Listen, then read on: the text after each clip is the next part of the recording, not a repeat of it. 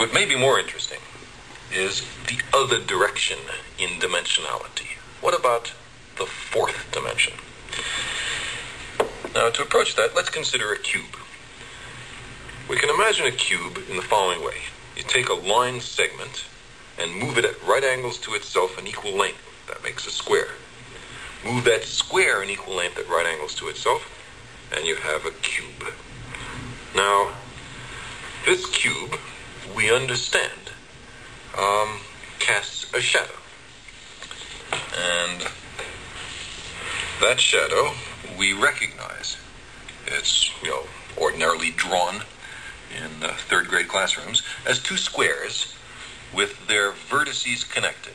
Now, if we look at the shadow of a three dimensional object in two dimensions, we see that, in this case, not all the lines appear equal. Not all the angles are right angles.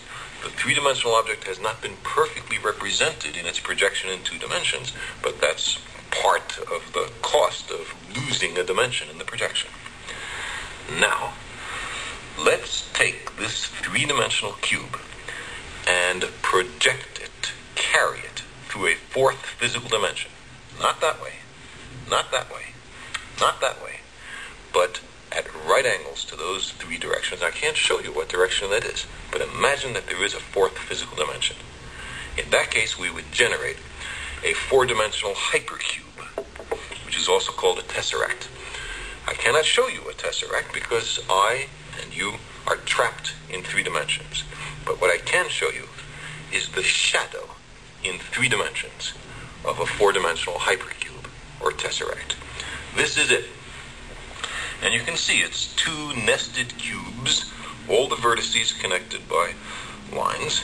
And now the real tesseract in four dimensions would have all the lines of equal length and all the angles right angles.